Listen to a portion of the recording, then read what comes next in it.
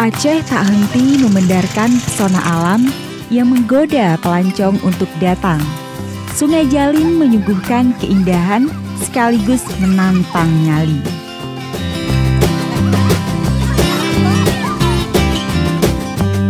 Membentang di balik bebukitan yang memeluk kawasan Jalin, Janto, Aceh Besar, Jalin menampilkan pemandangan khas Sungai Hilir dengan permukaannya yang terbilang dangkal dan riaknya yang tenang.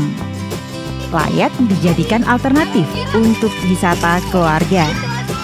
Ya, menikmati waktu di alam terbuka bersama orang-orang tercinta tak ubahnya seperti mengagumi dua keindahan ciptaan Tuhan sekaligus.